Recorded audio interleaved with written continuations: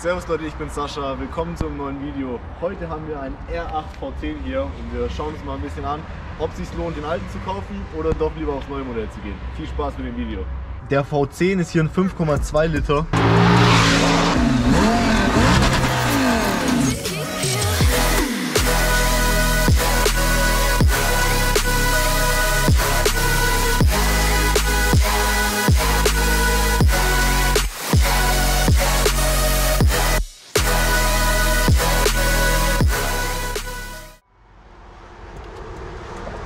Leute, ihr seht schon, schwarzer R8 V10. Die wurden ja anfangs gebaut auch als V8, sprich seit 2006 gab es die V8-Modelle und dann ab 2009, 2010 circa gab es die V10-Modelle, was wir natürlich mega, mega geil finden. V10 Saugmotor, das wir hier jetzt auch drin haben, den wir jetzt auch entsprechend drin haben, den V10 Saugmotor und später gab es dann nochmal auch ein Facelift und ein Upgrade auf den V10 Plus mit dann noch ein bisschen mehr Leistung, aber ebenfalls den V10 Saugmotor. Komm gerne mal ein Stück mit, wir laufen mal kurz drum rum. Tendenziell muss ich sagen, der R8, egal ob jetzt der hier oder das aktuelle Modell, was es jetzt derzeit gibt, sind beides mega, mega schöne Autos.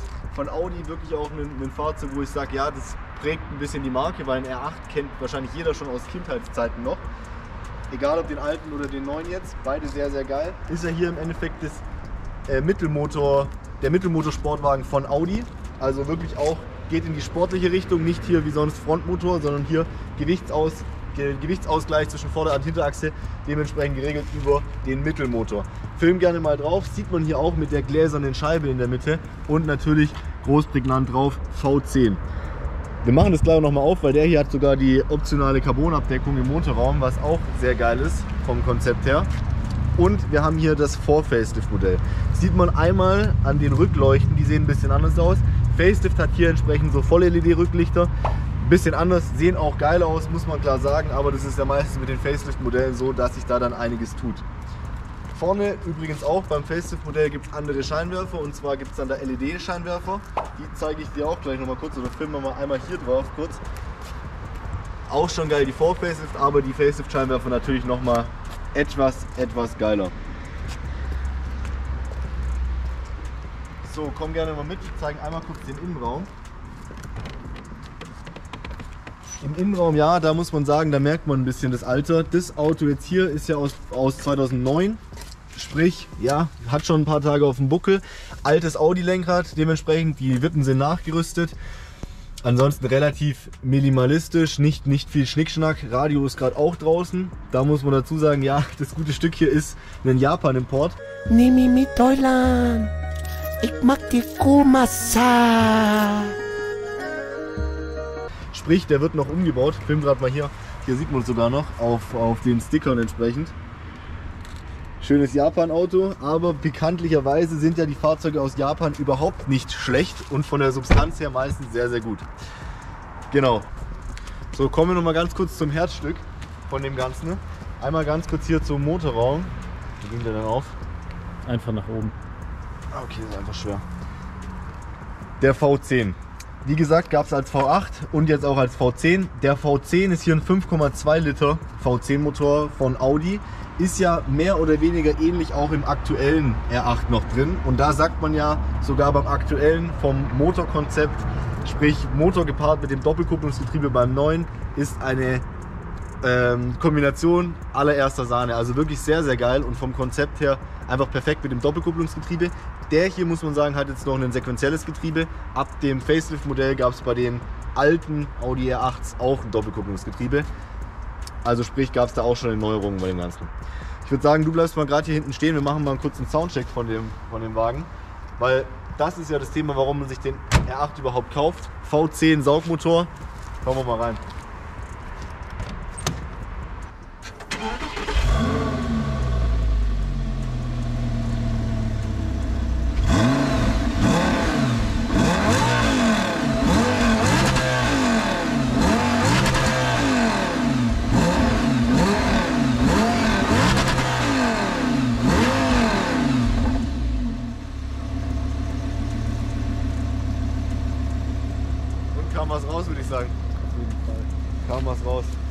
1 PS, großvolumiger Saugmotor, da muss was gehen. Äh, gleich seht ihr das sowieso noch mal kurz in, in der Vorbeifahrt, dass ihr da auch noch mal reinhört. Und äh, schauen wir uns das Ganze mal von drinnen an und fahren mal kurz eine Runde.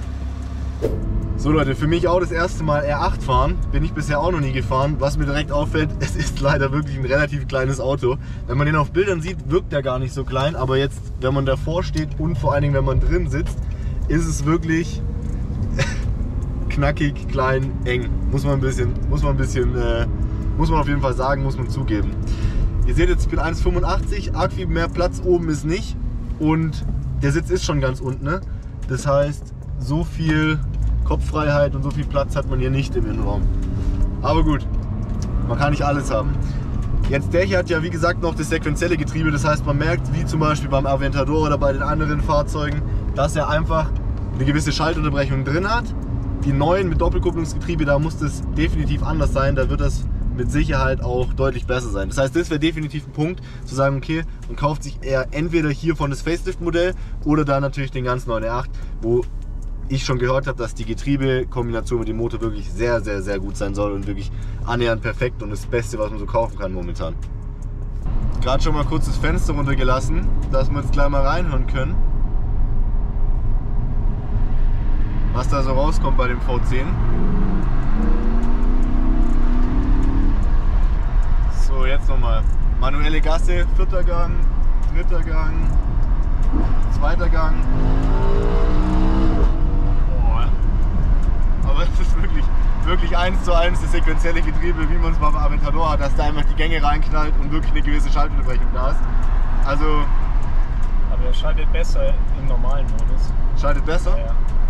Jetzt gehen wir mal aus Sport raus, schauen wir mal, wie er da schaltet. Zweiter Gang. Ja, man merkt deutlich, halt man merkt einen deutlichen Unterschied, dass er deutlich sanfter den Gang einlegt. Aber dennoch sequenzielles Getriebe merkt man auf jeden Fall.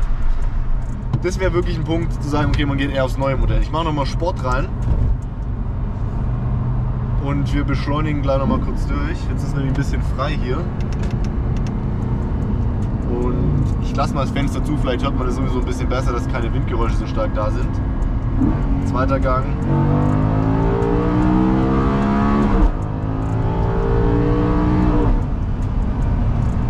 Also man schiebt schon vorwärts. 525 PS hat das Modell jetzt hier. Der V10 Plus hat im Endeffekt nur kleine Softwareanpassungen und hat dann 550 PS. Auch aus dem V10 Saugmotor entsprechend.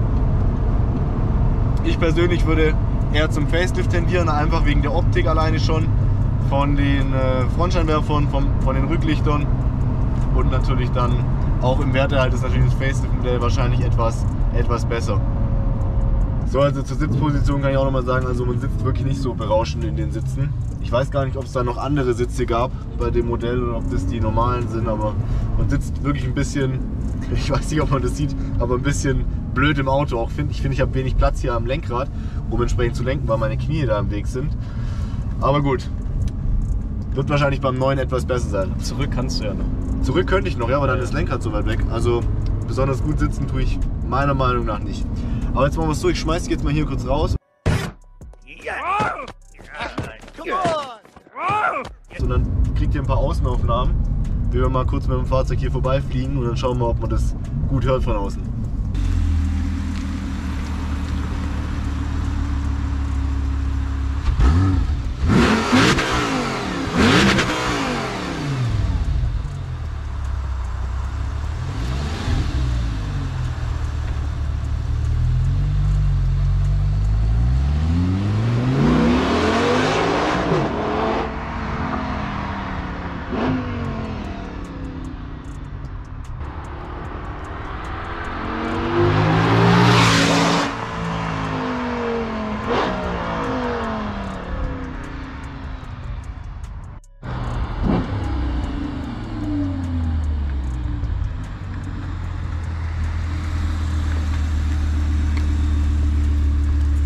Und war gut?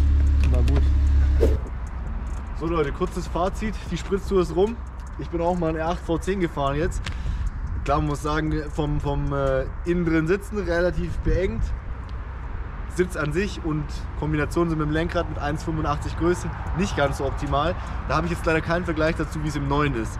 Tendenziell kann ich aber sagen, wenn man überlegt, preislich liegt man hier bei so einem ja, sage ich mal, äh, so das Modell wie das jetzt hier mit V10 und etwas älter, sage ich mal so 65, 70.000. Wenn man da jetzt auf ein Facelift-Modell geht, V10 Plus, liegt man vielleicht so bei 80, 85.000 irgendwo in dem Dreh. Und dann den Sprung zum neuen Modell, dass man sagt, man hat das aktuellste Modell vor Facelift, liegt man schon bei 120.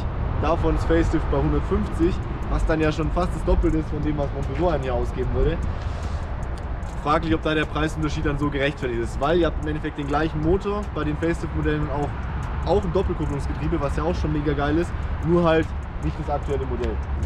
Somit kann man tendenziell schon sagen, dass es kaufenswert ist, auch den alten R8 zu kaufen. Klar, V10, Facelift würde ich schon in Betracht ziehen und nicht gerade den V8, aber V10 Facelift kann man definitiv gut kaufen. Dann würde ich sagen, das war es schon mit dem Video. Schreibt gerne mal rein, was ihr kaufen würdet, alt oder neu und warum. Und äh, was für ein Fahrzeug wir gerne in nächster Zeit nochmal drehen sollen. Und dann sehen wir uns auch im nächsten Video. Danke fürs Zuschauen. Ciao, haut rein. Bis dann.